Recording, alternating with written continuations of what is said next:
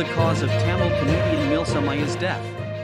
Popular Tamil comedian and actor Mayilsamy took his last breath at the age of 57 in Chennai on Sunday morning.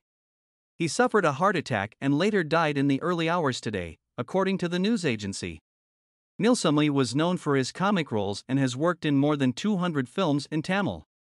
Some of his acclaimed roles include Dhool, Vaseegara, Ghilli, Giri, Uthamaputhiran, Veeram, Kanchana, and Kangalal Kaidhu Sei, for which he won the Tamil Nadu State Film Award for Best Comedian.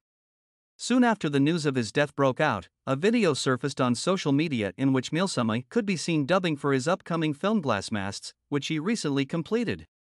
For more on this developing story and other breaking news, visit our website. The link is in the description of this video.